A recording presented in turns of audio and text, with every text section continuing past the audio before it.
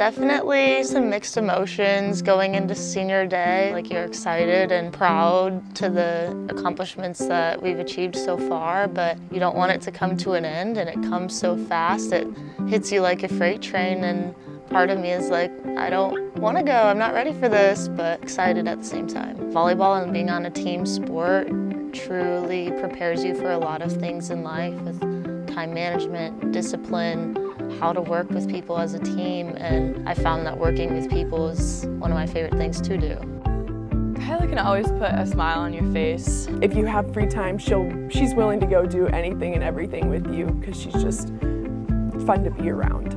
Is always making friends, so I personally love being around her just because she's so social and it really kind of brings me out of my shell a little bit. She's so upbeat and like happy and like fun to be around, so I think the whole team kind of bounces off her energy specifically. You can really feel the support on the court from the fans. Like we just had a Sunday afternoon game and I was blown away by the turnout that we had. It was packed, it was hot even though it's November.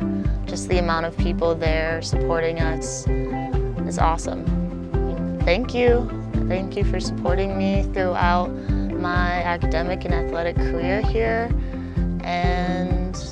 Yeah, I'm proud to be part of this team, this culture, and to be an Illini.